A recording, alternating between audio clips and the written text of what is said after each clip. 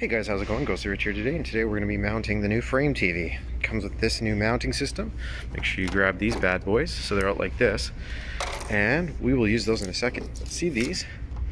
First thing you're going to do is peel it and stick it. So line it up like so, and then you peel it off of here by peeling the black off of the clear and stick it there with the arrows facing each other.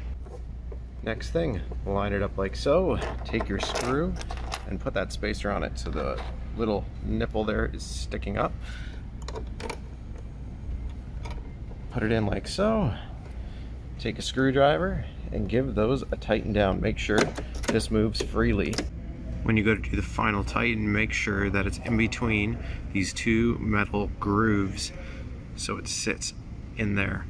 Next thing to want to do is hook these on and they don't really hold until it's on a tilt.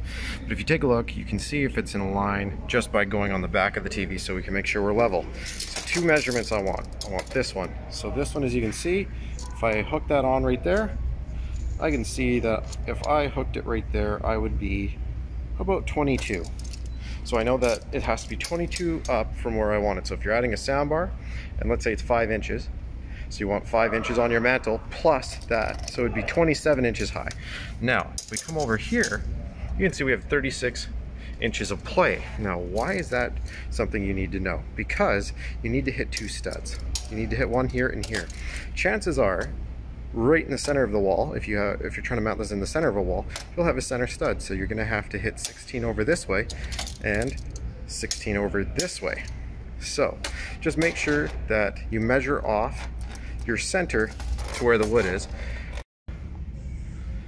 So this is my center, these are my two studs. Now to make this work, what you have to do is take this and measure up from there. As you can see, if I got it close enough, we're at three quarter there. It's 37 and three quarter. Now if I came over here, I came over here and did the same thing on the other stud. So that way my holes are gonna be at the exact same height. It's really important that you do that and make sure that you're measuring off of a level surface. So that way you know. So if you're measuring off a mantle, that is gonna be super easy. Once you have those two measurements, now we're gonna go ahead and mount those two brackets and make sure that you have your center marked like I do. So that way I can measure off the back of the TV and mirror image it onto here. So that way I know for sure my TV is gonna sit center A couple quick things. These are not for drywall. These are concrete anchors, so do not, whatever you do, put these into drywall. Your TV will fall off the wall. Next thing, these new remotes have a solar panel on the back, so feel free to leave this near some light source so your remote will charge automatically. So checking from there to right here, we're 35. Again, just making sure I've measured from here to here, which was 35 in total, 17 and a half in the center. Now this is for a 55. If you have a 65, it'll be more. If you have a 75, it'll be more. So make sure you measure the width of your hooks and you measure to where your center is and then make sure your center lines up or the center of the TV lines up on the wall in your center point exactly where you want it.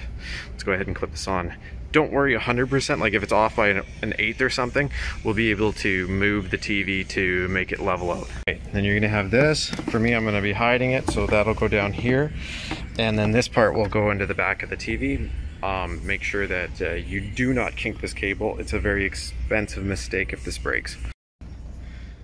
Pull these all the way out and lift it and put those in the two hooks on the back of that bracket. Let's lift it on. So we've got the TV super close to the wall, as you can see. Something to note that this is not a no gap wall mount. There is always a small gap behind it.